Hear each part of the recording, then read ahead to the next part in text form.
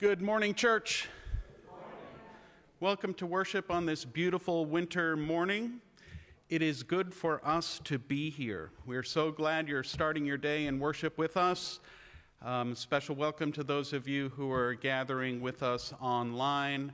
Uh, thank you all for being here. Um, today um, is a second Sunday, and that means our second Sunday jazz trio is back with us today. It's great to have you.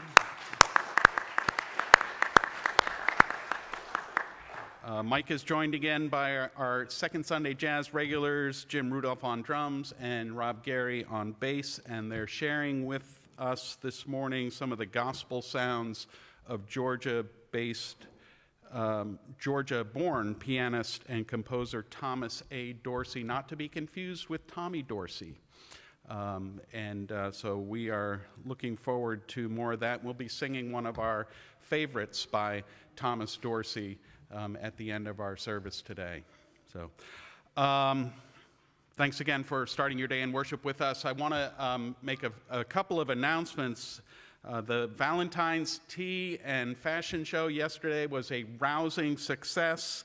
Uh, we raised over $2,000 and counting for uh, Fairtide, so thank you all uh, for everything that, that uh, it really takes a community to, to do something like that. But I'm going to lift up um, Kathy and Tim Rooney and Melissa and Paulette in the, in the kitchen and uh, Tom and Linda Barron. Um, and, uh, and, and Cassie Barron for her creative um, help with the, uh, with the decorations that are down there. So um, it, was, uh, it was fabulous. And, and thanks to our table hosts and all our guests and people who baked and um, it was uh, it was just amazing. We we had over 100 people downstairs and um, and raised some some excellent money for for Fairtide. But we're not done yet because today is uh, Super Bowl Sunday, and we're receiving donations because it's the second Sunday of the month. The Footprints Food Pantry box is rolled out in the vestry, ready to receive your non perishable food items. Um, and if you forgot to bring a non perishable food item, you can drop um, a check or cash into that bowl, uh, that soup pot, in, on the table as, we, as you leave this morning. Uh, for our Super Bowl of caring, which, which helps us tackle hunger um, throughout our community. So we thank you in advance for your generous donations to that. And we have Super Bowl subs. I think there are a few left, um, but and we're also looking for uh, maybe a few more hands to uh, to help with that. Tom and Linda are greeting downstairs, but if you um, if you have not ordered one or want an extra, see see Tom and Linda uh, following worship today. Lent begins on Wednesday. And this year it happens to um, fall on Valentine's Day. Um, but we're still going to have a service here at Second Christian at 7 o'clock. Um, it is at 7 o'clock, so you can go out for an early dinner with your beloved and then come and uh, worship with us here um, at Second Christian. At 7 o'clock, we will be um, having the imposition of ashes as we mark ourselves for the beginning of this Lenten journey. That's all I have to say. There are other announcements and calendar items in your bulletin which, to which I invite your attention. Let us continue in our worship.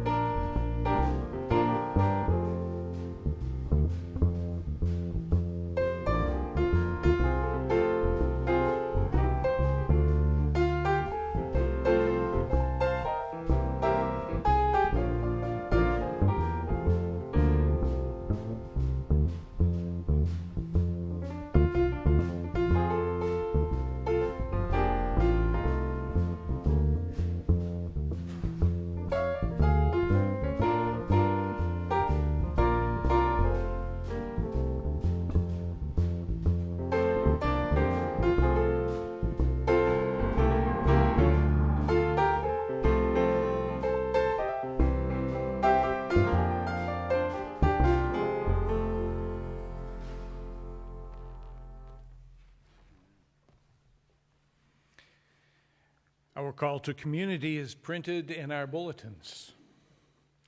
Let us read responsively.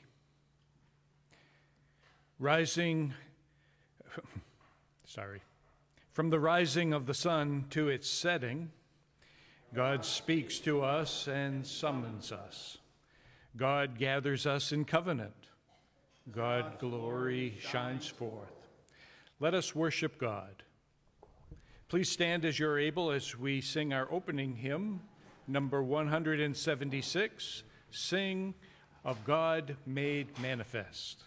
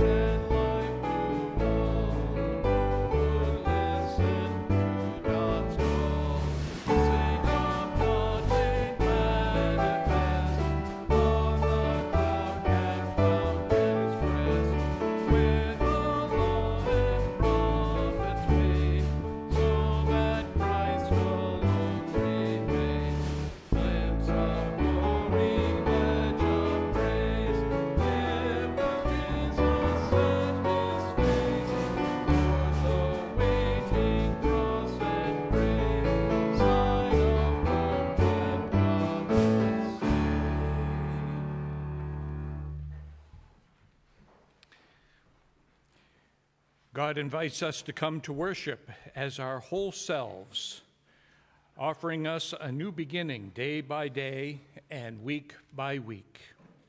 Trusting in God, let us pray with one voice for transformation and new life. Mighty God, you call to us. You call to the heavens and to the earth in covenant. And so we call to you be present as we worship. Gather us that we may hear your voice and respond to your ways of righteousness. We pray in the power of your Holy Spirit. Amen. God's glory shines forth, and God judges all things with grace and with mercy.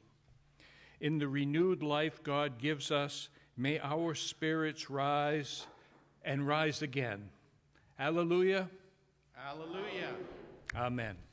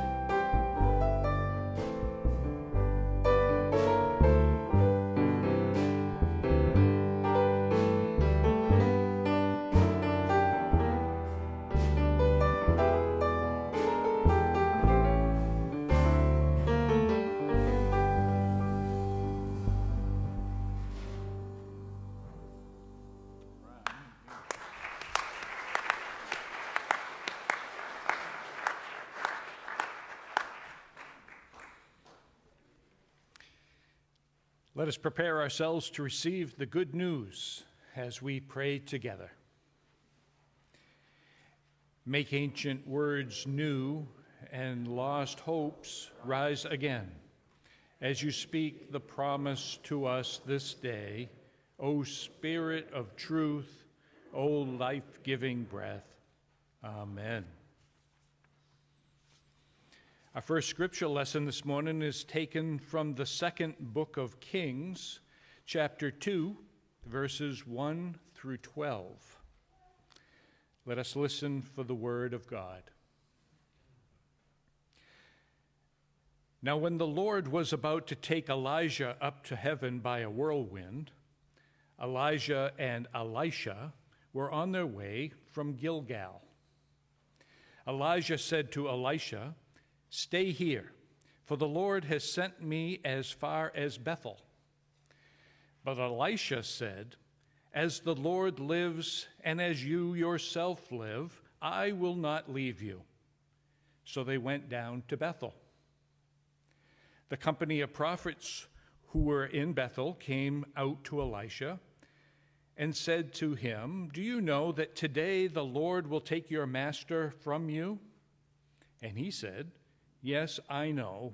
Keep silent. Elijah said to him, Elisha, stay here, for the Lord has sent me to Jericho. But he said, As the Lord lives and as you yourself live, I will not leave you. So they came to Jericho. The company of prophets who were at Jericho drew near to Elisha and said to him, do you know that today the Lord will take your master away from you?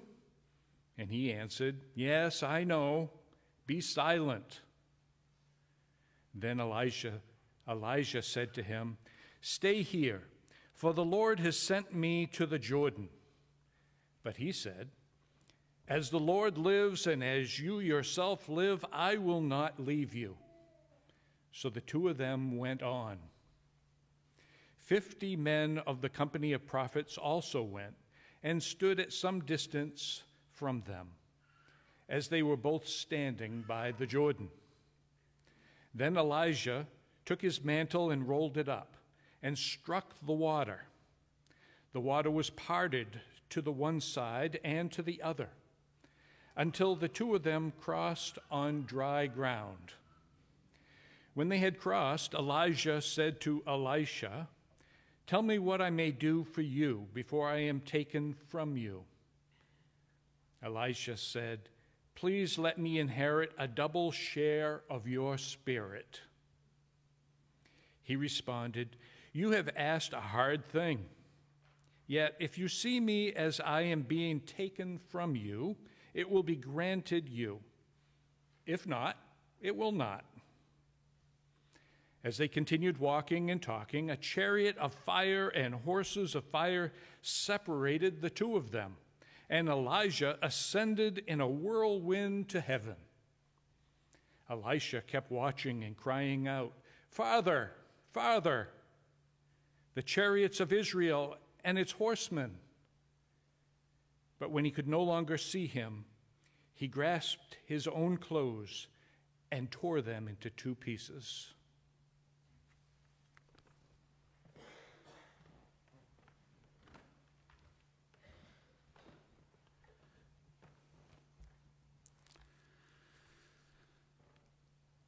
Let us listen also for the word of God as it comes to us in the gospel according to Mark, in the ninth chapter, beginning at verse 2. Six days later, Jesus took with him Peter and James and John and led them up a high mountain apart by themselves. And he was transfigured before them and his clothes became dazzling white, such as no one on earth could bleach them. And there appeared to them Elijah with Moses, who were talking with Jesus. Then Peter said to Jesus, Rabbi, it is good for us to be here.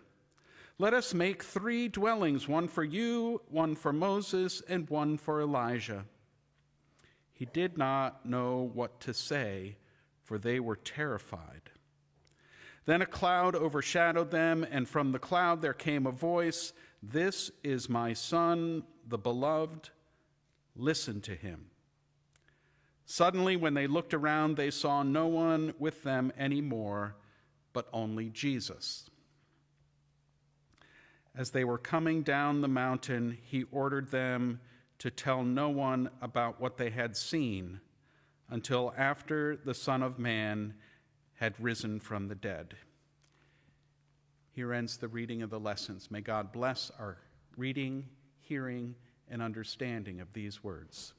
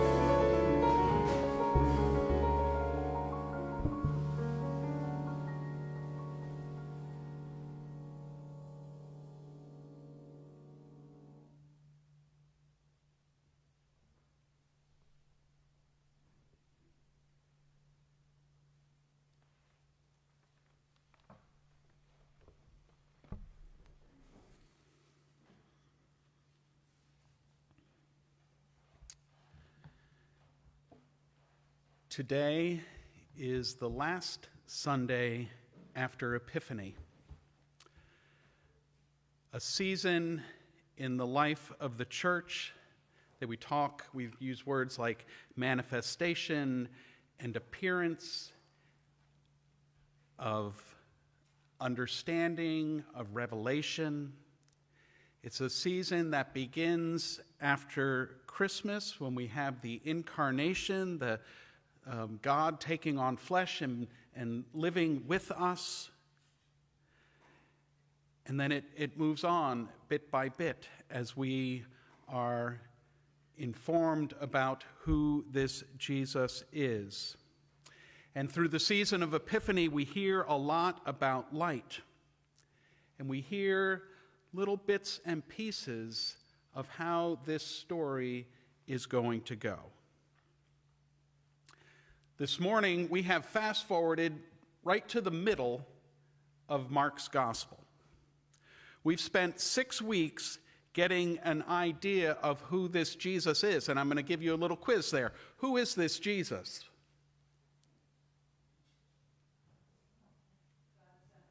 God's Son. What else? What did we learn about Jesus in these past six weeks? Go ahead, shout it out. Came to suffer and die. We haven't heard that yet, but that's true. We've, we, what, have, what have we heard? We've heard that Jesus is a teacher, right? He goes around teaching and preaching in their synagogues. So he's a teacher, he's a preacher. We know that he's a healer. People have been lined up at the door, waiting to be healed, waiting to have those spirits cast out of them. So he's an exorcist too. And we learned all of that, and we haven't even gotten out of chapter one in Mark's gospel until today. And what we heard today is kind of a bookend for how we began this season of Epiphany. You remember, right? At Jesus' baptism, God speaks to Jesus out of the cloud You are my son, the beloved, with you I am well pleased. Those are words spoken to Jesus. Those are words that start Jesus on his way in ministry. And today, up on that mountain, God speaks to the disciples this time. God speaks to us. This is my son, the beloved. Listen to him.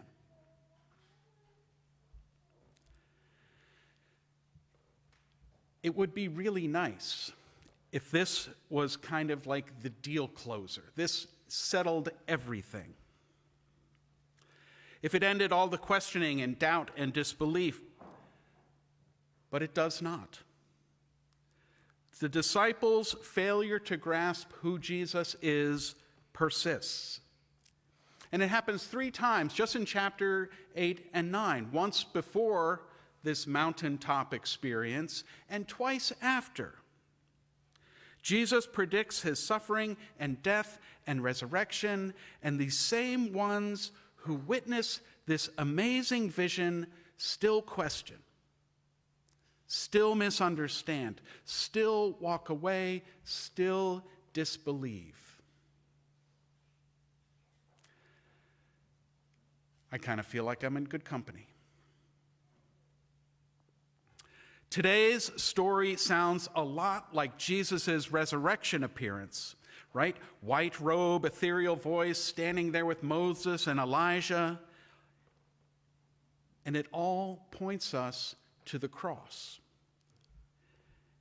It all points us from his baptism and ministry to resurrection and new life, all rolled up in one. And it's smack dab in the middle of Mark's story. He gives us a sneak peek of its ending. And even the ones standing right there missed it. Right there in front of them. There it was, as plain as the nose on their face. We sometimes will talk about the immanence of God, right? It's kind of a hard concept to, to wrap our heads around, but it's, it's the, the everywhereness of God, the closeness of God. One theologian defined it this way the glasses on your face, the rings on your ear, what you search for, even though you have it already. That is the immanence of God. How many of you have ever looked for your glasses for 10 minutes only to realize here they are? How many of you have walked out to your car looking for your car keys and there they were in your hand? That may not be a God thing, that might be something else, but it's that same sort of thing, looking for something even though you already have it. God's immanence, God within, God's nearness, God with us says that God is like that. Even though you search for God, God is already near. With us, in us, working through us. God is with, up, with us in our worship, in our music, in our prayers, in our fellowship. God is with us when we gather at the font and at the table. God is with us all the time. All the time. God is with us in our work, in our play, in our homes, in our schools in the ordinary, everyday experiences and in those extraordinary mountaintop experiences,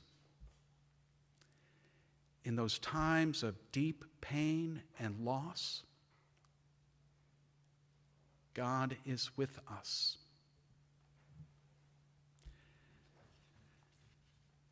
Present to us, present through us. That's the promise that we got six weeks ago. And that's the promise.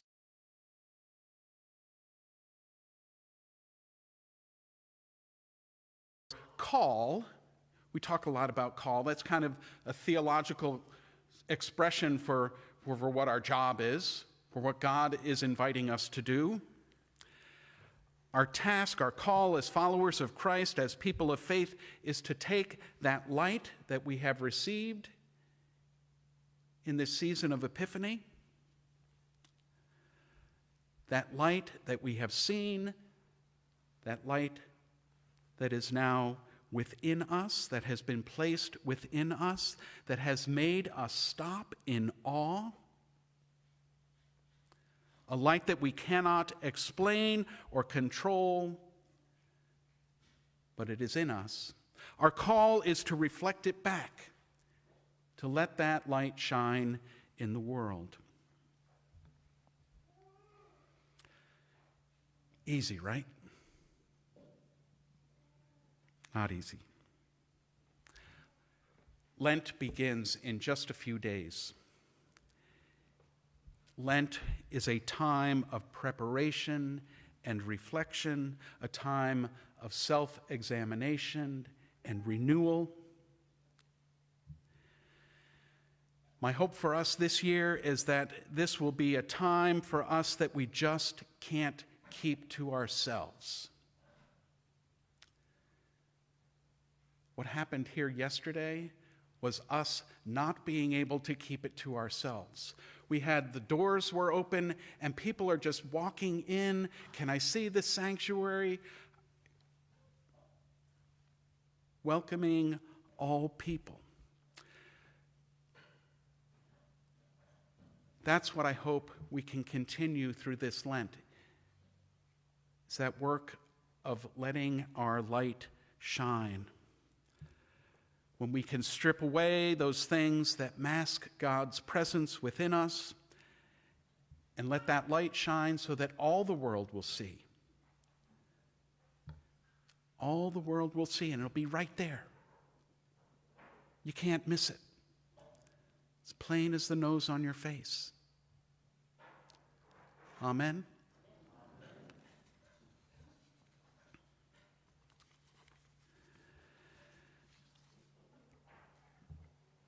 As we come before God in prayer today, I invite you to lift up names and situations that should be in our prayers today and through this week. Scott.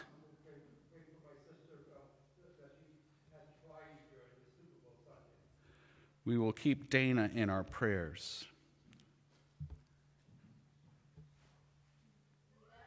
Rita? Rita and Victoria.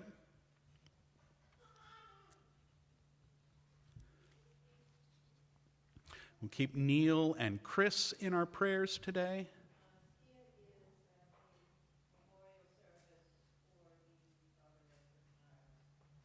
I'm, I'm sorry, I'm not.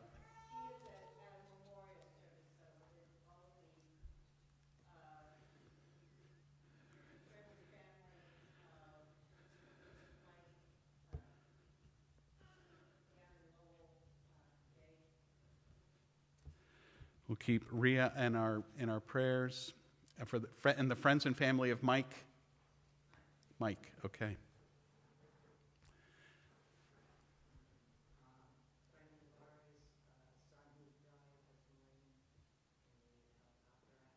John.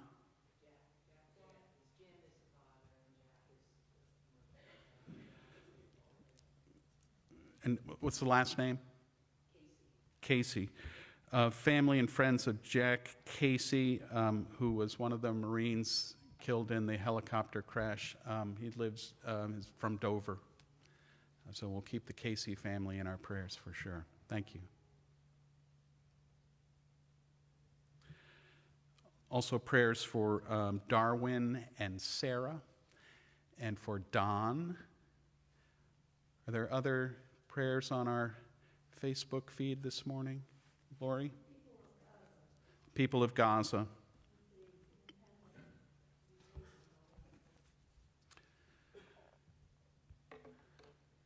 Let us pray.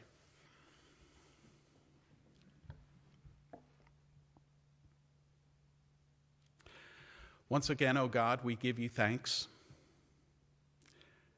We give you thanks for this day for gathering us here in this place and across the miles. We thank you for each and every person who is part of this new thing you have created today.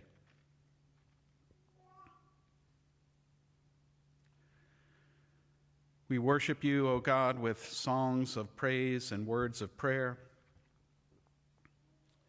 with ears that listen for you to speak your saving truth into our lives.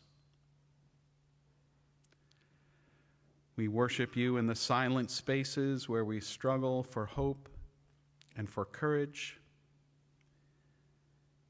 And we long for a glimpse of your glory, the glory that shines in the darkness, and the darkness cannot overcome it the glory that touches lives with beauty so holy that it heals the wounded soul, the glory that gives strength to the weary and confidence to the hopeless. We who stumble and fall so often seek you, longing for your light to shine upon us and through us Dazzle us with your holy love. Draw us into your purifying presence. Speak your transforming truth. Then grant us grace to live every moment changed by such glory, daring to live with hope and courage and love, reflecting the life and light of Jesus, through whom your glory shines in the most unexpected ways.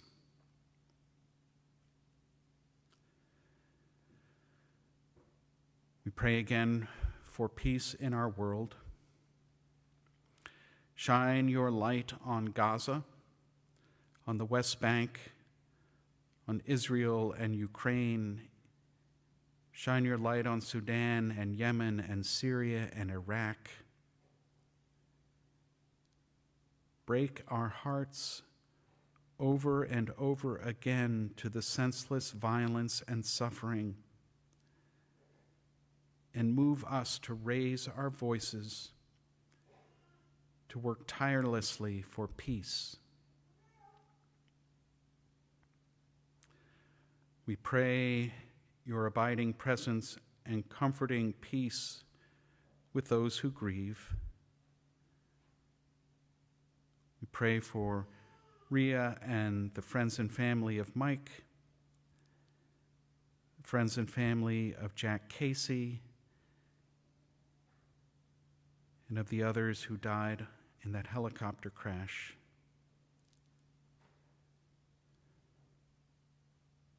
We pray for those who are sick and lonely and lost, for Dana and Rita and Victoria, for Neil and Chris, Darwin and Sarah, for Don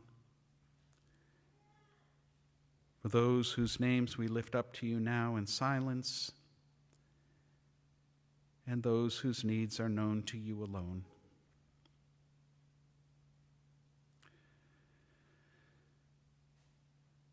we pray also for this church, this gathering of your people.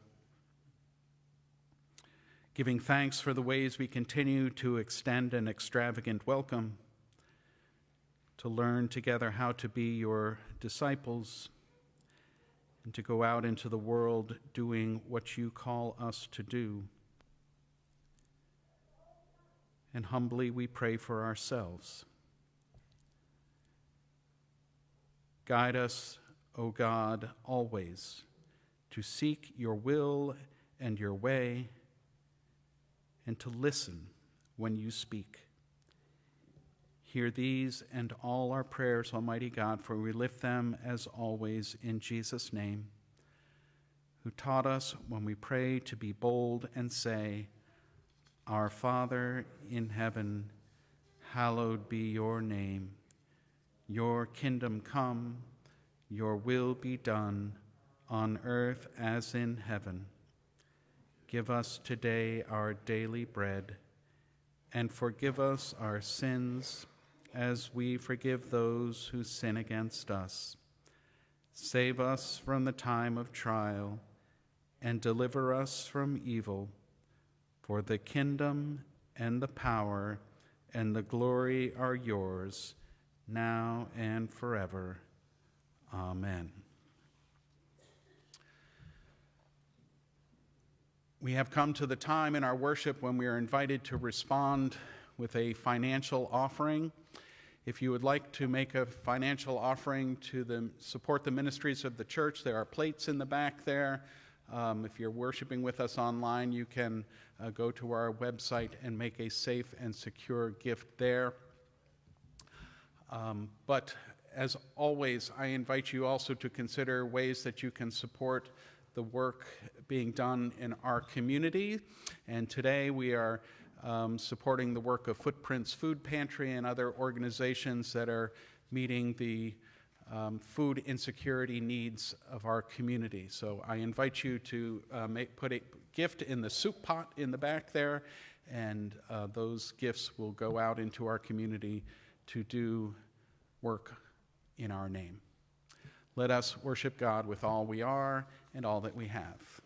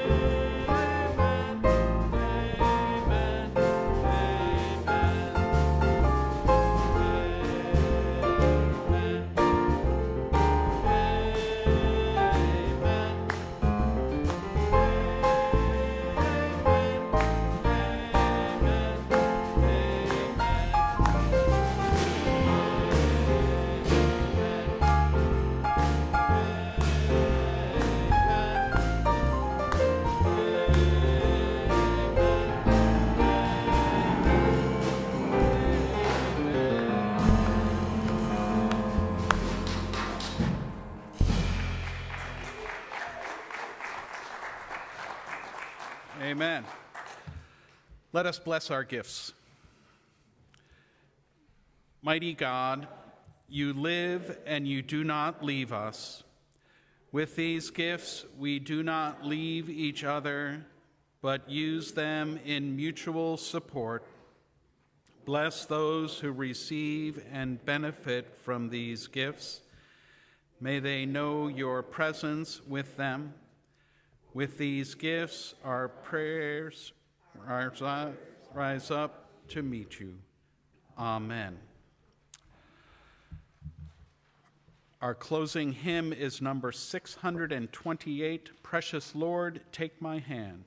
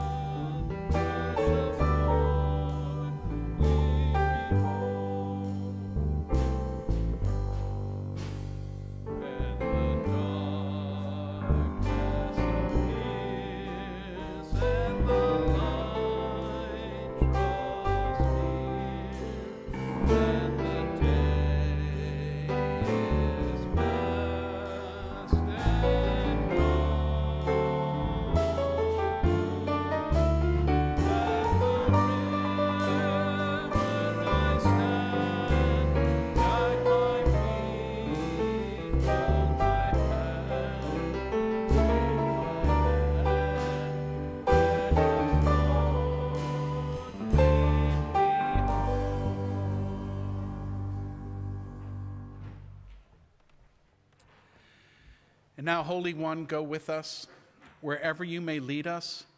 Guide us through the wilderness, protect us from the storm, bring us home rejoicing at the wonders you have shown us. Bring us home rejoicing once again unto our doors. Amen.